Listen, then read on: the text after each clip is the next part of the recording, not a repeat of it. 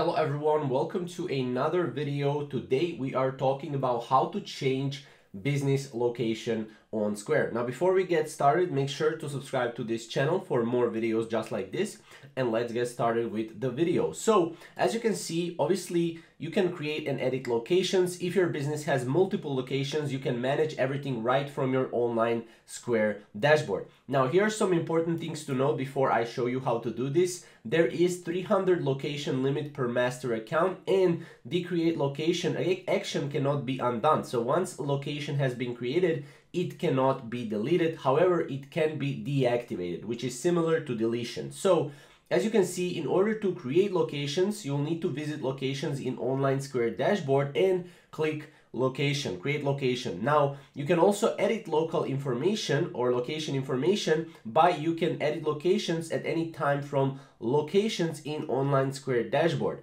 Now, you can just go there and then you will be able to edit your locations. It's very simple. All you have to do is again, Online Square dashboard and then click create location in order to go and change your business location on Square. You can also edit your location information if you already have a business location and you want to just change it.